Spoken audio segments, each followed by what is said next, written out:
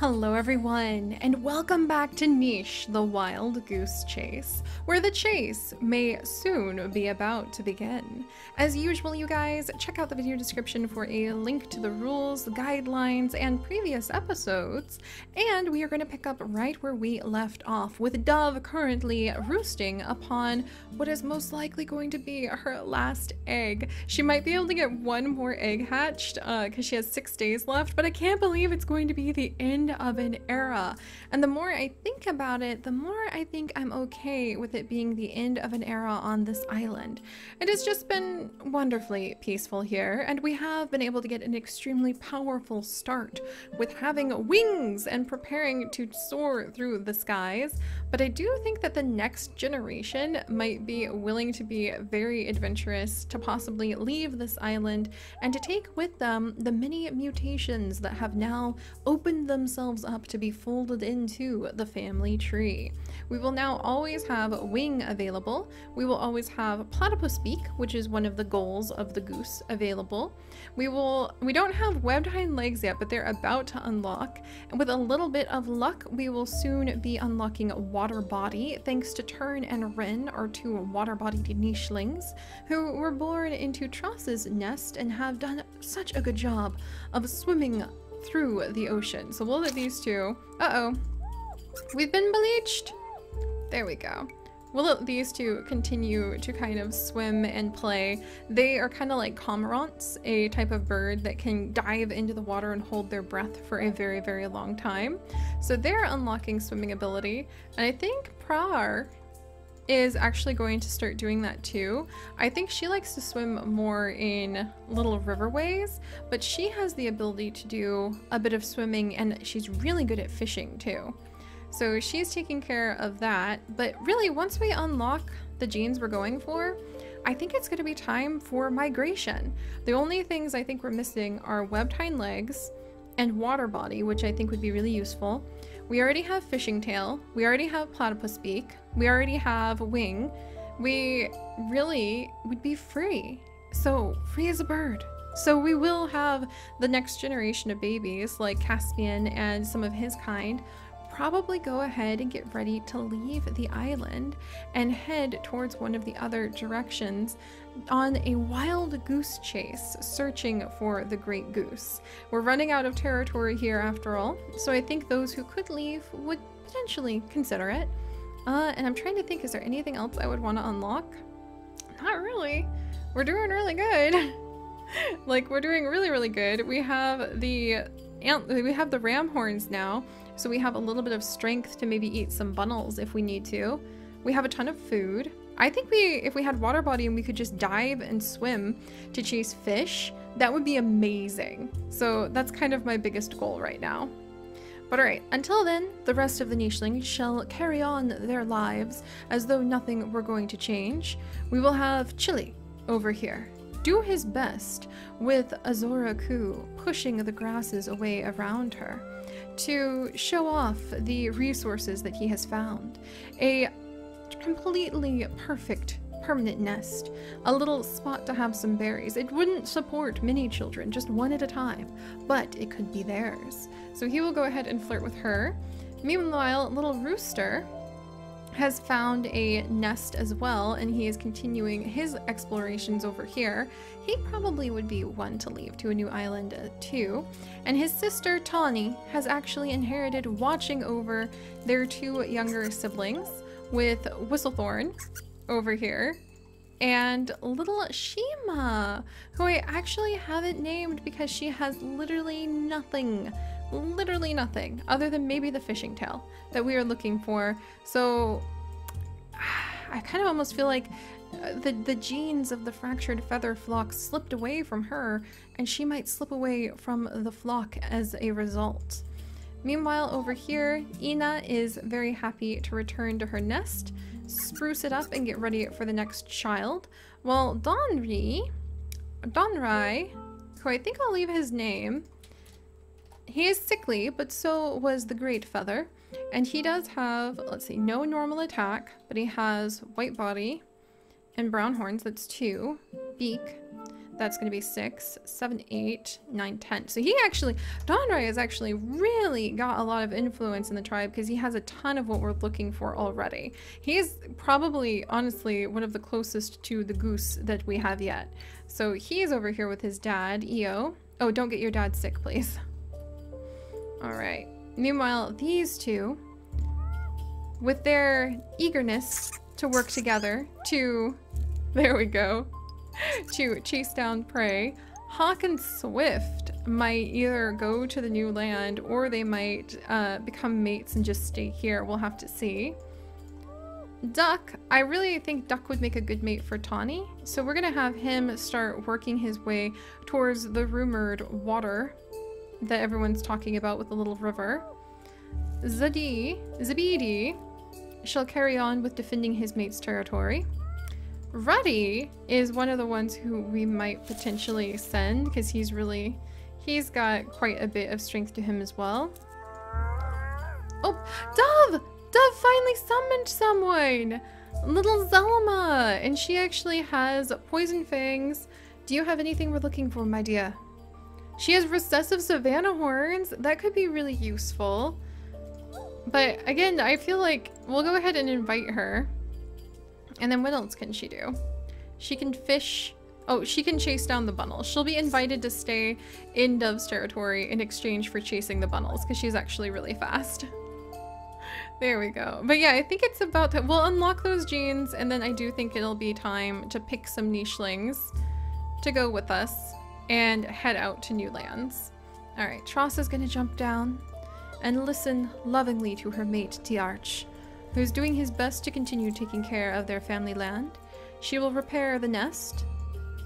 And speaking of nest repairs, Chickney is tending to the territory that uh, they watch over.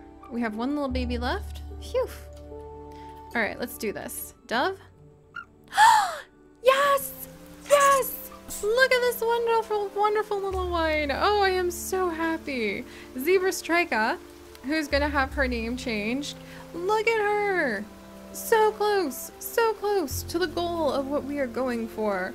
I'm going to go ahead and name you, hmm, maybe Warbel? Uh, Warbel, uh, War, huh, Warbel, there we go. After Warbler, which is a type of bird. And she actually has a lot of what the geese are looking for. Uh, we're missing a few things still, but we have wings, that's four. We have beak, that's eight. Uh, we have nine for the brown horns. All right, so she's got nine influence and she can fly. Yeah, I think we'd be safe to go ahead and have our flying nichelings leave, even if I have fallen in love with like the majority of our nichelings and want to keep them all. All right. Everybody do exactly what you were doing before. Caspian, help out your family. Tiarch, gather up some food. Dove, go ahead and call. And we'll have our gardener Chickney continue to take care of some spots. We'll have Pra, who has decided to stay. Oh, she's drowning. We'll have Pra visit. Maybe help us with the whole swimming thing. Turn. Webbed paw! Yes, and webbed hind legs! Huzzah! We're getting closer and closer, friends. Turn and Rin, who is extremely beautiful in my opinion, continue to explore the waterways. Rooster continues to explore the land. And poor Tawny, I'll let her repair the family nest and kind of like watch over everything. But how sad to just have the bones of her parents and like her siblings nearby. Meanwhile, I think Io did indeed get sick, unfortunately, from his son. I think he really loves his son, though, so he doesn't mind. Donrai, I don't know if he'll make it, but we'll have to see. Alright, and then over here, I swear, these two love hunting almost more than they love the idea of becoming mates, but they're going to come down into the water and begin to perform their courtship dance. Hawk and Swift have known each other their whole lives, because they are siblings. But this is niche, and that happens, and they have genes that I want to see babies from. Alright, when we get too many nichelings, it makes things so complicated. Dove, you have just enough time to come down as a graying, beautiful dove, was Zabidi telling you about how much he, uh, he was going to compliment her old age, but she did not appreciate that. So he will compliment the many successful children they have had. And it shall be the last time these two shall be eye to eye. So I need just a moment. It's just, it's hard to say goodbye to my nichelings always, but Dove has really done a great job and I shall miss her and her mate. We will let her fly up, call out. There we go. Gather up some more food. Ready. I kind of, I, I was always curious, like, which baby should I send to the next island? I think we'll just send the ones that can fly. Because we have so many of the genes that we can just apply now. Meanwhile, Chili. We'll see if he can surprise us. He has shown that he has an abundance of resources. Azuraku has shown that she has resourcefulness herself. They may have some children. Alright, it's just the babies left. Do we have a new baby? Nope, we won't have a new baby here. There we go. Alright, so let's see. Need to repair mom's nest there. Dove will go ahead and call out. We ended up with another parasite. No big deal. The sisters can take care of that together. Ooh, wow. If you can fly and you get close enough to the surface, you jump out. That's so cool.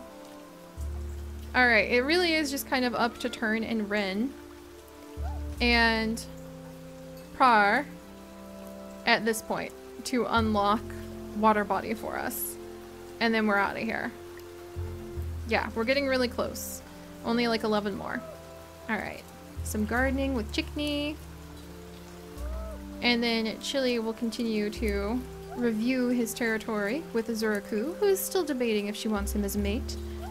And then we've got some more gardening with Rooster, who's getting old enough that he might be able to start doing his own stuff. Whistlethorn will help his sister Tawny out at taking care of the land. Their parents' bones have finally disappeared, thank goodness. And then Io has plenty of worms to come and teach his son how to noodle doodle with. Inga needs to sit and wait patiently on top of her her nest, taking care of her egg. So many little ones to watch after. Owlet, here with her family. Might as well just like pile up on food while we can. There we go, kick the tree. Doc, you're finally old enough. I can have him begin the long journey to go forth and see, uh, go forth and see Tawny. Yeah, we're, we'll leave behind a few couples, but I think it'll be worth it to start fresh with a migration. Alright, meanwhile, Swift and Hawk dance in the waters, and Hawk hopefully impresses. He might, he might leave though. Hmm. Hmm. Hmm. D and F immunity. Hang on here. Hawk, D and A, and Ren. Hawk, D and K, and Feather. How many fully winged nichelings do we have? That is the question. Huh. Family tree. I think everybody has... Who can fly? Eight on Weirabell. So anybody with eight. We're so one, two, three, four, five. We have five that can. Oh. I think Hawk's gonna wait. I think Hawk was thinking about the mate dance. But you guys, I think Hawk is a little too flighty. So, talk about drama. I think that he got distracted and just as Swift thought that she was about to have a mate of her own, he vanished and I think has left her quite irritated.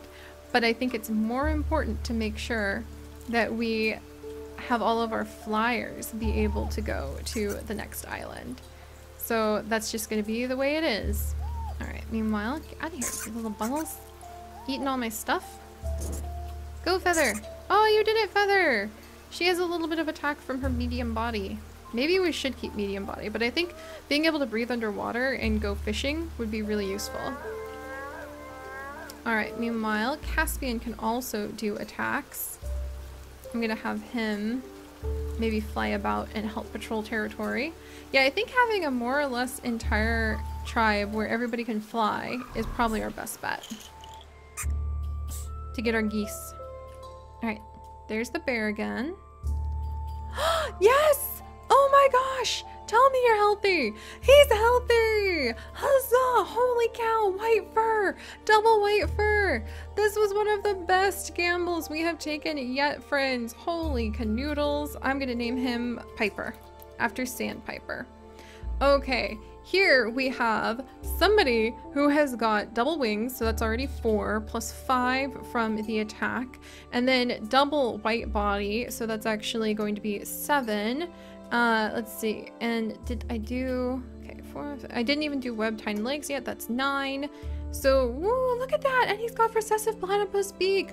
Piper, this is a sign, this is a sign that we should definitely send everybody into the future for sure. We'll go ahead. Io will be so tickled and thrilled.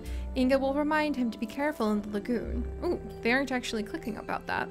Uh, and then she'll compliment him on his worm hunting skills. Oh, they're having a hard time bonding.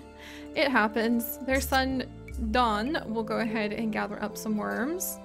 Phew, about freaking time. I think we have enough like flying nichelings for sure, but we'll just see if we can breed up a few more last minute ones. There we go. Tawny. And maybe gather up a ton of food. And then we'll have Duck move over here. Eye up Tawny, who clearly has some good territory. I think we'll release Lashima when she comes of age and let her be a wanderer. Alright, Zabidi, proudly patrolling his mate's territory, as always. And then, let's see.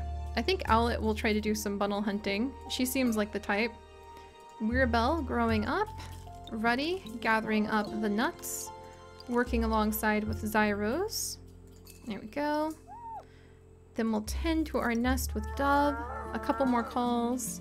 We have a Crabbit, like, facing down Hawk. I really, I feel like Hawk just can't help himself. He goes after the chase and has left poor Swift without a mate after all. But we'll see. Maybe her mother's summoning will pull a new mate towards us!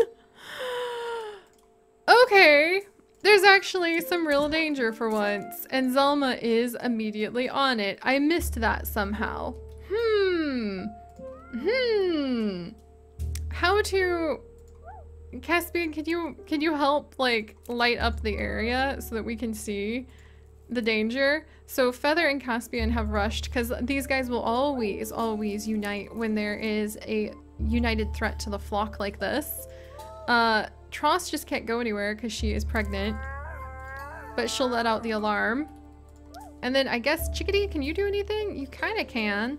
I guess come down here just in case we need you. That is the edge of our territory. Phew, alright, well that's interesting. There's Bunnels aplenty back here, but I think Chili is ready. Perhaps not in the Razorina infested waters, but he is ready to invite Azura down here and consider becoming mates.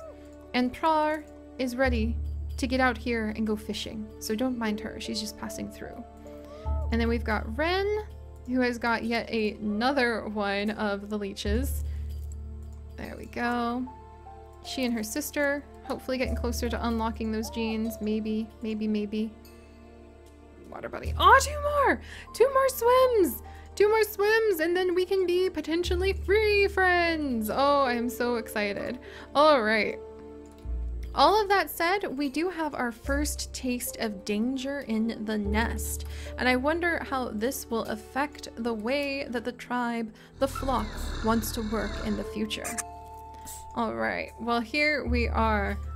Are bearyena threat? We're doing our best to attack. Can Feather attack? Feather can attack. Does she want to attack? I mean, Ruddy can attack? You know what? I, I think she would. She's little, but they're fierce. and they did it! We have defeated the Marina!